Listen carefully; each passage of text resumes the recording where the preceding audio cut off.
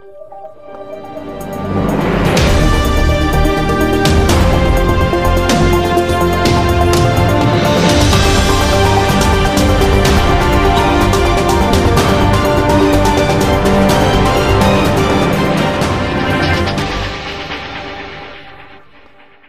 ಸಂಸದ ಅನಂತಕುಮಾರ್ ಹೆಗಡೆ ವಿರುದ್ಧ ಜನಪ್ರತಿನಿಧಿಗಳ ನ್ಯಾಯಾಲಯದಲ್ಲಿ ದಾಖಲಾದ ಪ್ರಕರಣ ರದ್ದು ಕೋರಿ ಸಲ್ಲಿಸಿದ್ದ ಅರ್ಜಿ ವಿಚಾರಣೆ ನಡೆಸಿದ ಹೈಕೋರ್ಟ್ ನ್ಯಾಯಾಧೀಶ ಕೃಷ್ಣ ದೀಕ್ಷಿತ್ ಪೀಠ ಅನಂತಕುಮಾರ್ ಹೆಗಡೆ ಹೇಳಿಕೆಗೆ ಅಸಮಾಧಾನ ವ್ಯಕ್ತಪಡಿಸಿದ್ದಾರೆ. ಹೈಕೋರ್ಟ್ ಸಿದ್ದರಾಮಯ್ಯ ನಮ್ಮ ಮುಖ್ಯಮಂತ್ರಿಯಾಗಿದ್ದಾರೆ. ಅವರಿಗೆ ಗೌರವ ಕೊಡುವುದು ನಮ್ಮ ಜವಾಬ್ದಾರಿ. ಮುಖ್ಯಮಂತ್ರಿ ಪ್ರಧಾನಮಂತ್ರಿಗೆ ಗೌರವ ನೀಡುವುದು ನಮ್ಮ ಜವಾಬ್ದಾರಿ. ಅವರ ಪಾಲಿಸಿ ಎಷ್ಟು ಇಲ್ಲದಿರಬಹುದು, ವಿರೋಧ ಪಡಿಸಬಹುದು. ನೀ ಬರಲಿ ಬಿಡು ರಾಮಜನ್ಮ ಭೂಮಿ ನಿನ್ನದಲ್ಲ ಮಗನೇ, ಇಂತಹದ್ದೆಲ್ಲ ಮಾತನಾಡುತ್ತಾರಾ? ಇದು ಎಷ್ಟು ಕೀಳು ಭಾಷೆ. ಆದ್ರೆ ಪದ ಬಳಕೆ ಬಗ್ಗೆ ಎಚ್ಚರಿಕೆ ವಹಿಸಬೇಕು. ನಿಮ್ಮ ಅರ್ಜಿದಾರರಿಗೆ ಸಲಹೆ ನೀಡಿ ಎಂದು ಹೆಗಡೆ ಪರ ವಕೀಲರಿಗೆ ಕೋರ್ಟ್ ಸೂಚನೆ ನೀಡಿದ್ದು ಹೆಗಡೆ ಮಾತಿಗೆ ಚೀಮಾರಿ ಹಾಕಿದೆ. ಇನ್ನು ಅನಂತಕುಮಾರ್ ಹೆಗಡೆ ವಿರುದ್ಧ ಬಲವಂತದ ಕ್ರಮ ಕೈಗೊಳ್ಳದಂತೆ ಸೂಚನೆ ನೀಡುವಂತೆ ಕೋರಿದ್ದ ಅರ್ಜಿ ವಿಚಾರಣೆಯನ್ನು ಕೋರ್ಟ್ ಮುಂದೂಡಿಕೆ ಮಾಡಿದೆ.